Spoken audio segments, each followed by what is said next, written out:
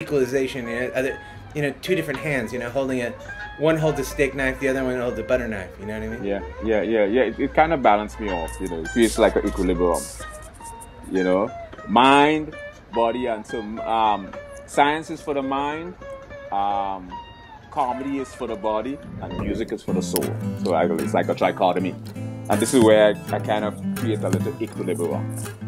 So I don't let the intellectual aspect of it drive me into insanity where you end up, um, because a lot of great minds end up deluded, have schizophrenia, end up into psychosis. So I use music as a place to, to kind of keep me balanced, you know, balance well, the soul. Thank you for balancing this show out, you know.